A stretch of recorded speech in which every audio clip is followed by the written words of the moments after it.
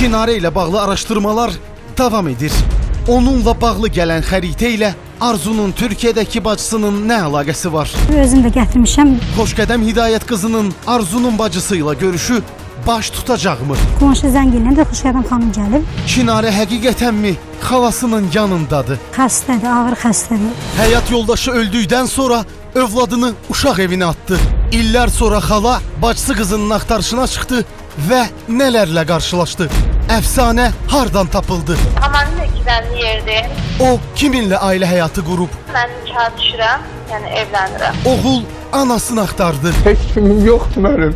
Neyniyim mən? Ana doğma övladından imtina etdi. Ana öz doğma oğlundan imtina edir. Aylar sonra isə həmin oğlanın ölüm xəbəri gəldi. Təəssüf ki, cansız bədəni Azərbaycana gətirilib. Həmin şəxs kimdi?